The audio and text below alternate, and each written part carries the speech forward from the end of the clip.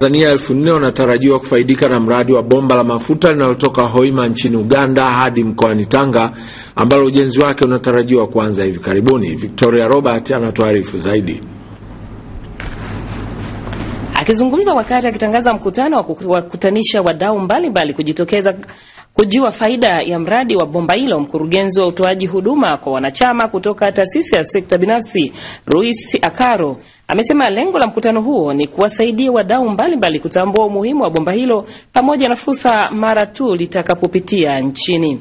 Bwana Akaro amesema taasisi hiyo ikishirikiana na kampuni ya Petro Fiantin imeandaa mkutano ambao utafanyika Septemba 27 ambapo wadau mbalimbali wataweza kunufaika na mradi huo wa bomba hilo kupitia wajenzi wa bomba hilo ambao ni kampuni ya mafuta ya Total ya nchini Ufaransa. Kuna, kuna mradi wa dola bilioni nne naingia Tanzania moja kwa moja na ajira zaidi, zaidi ya kumi na tano elfu. Hii huu ni mradi mkubwa sana. Makampuni ambayo tumeaita ni mengi sana. Makampuni ambayo hasa tumeyaita kwenye mkutano huu utakuta watu mia na hamsini ni makampuni hasa makampuni ya usafirishaji.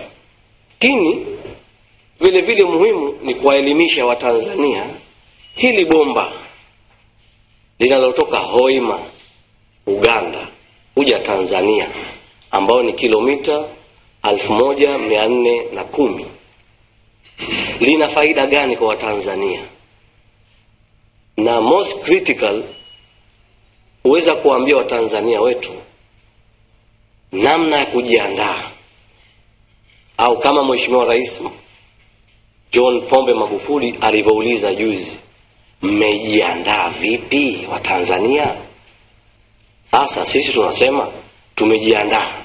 Wakati huo huo, taasisi ya sekta binafsi TPSF imekutana na wadau wao kusikiliza maoni yao pamoja na ajenda zao ili kuweza kuzifanyia kazi na baadaye kuziwasilisha serikalini, na hapa anaelezea.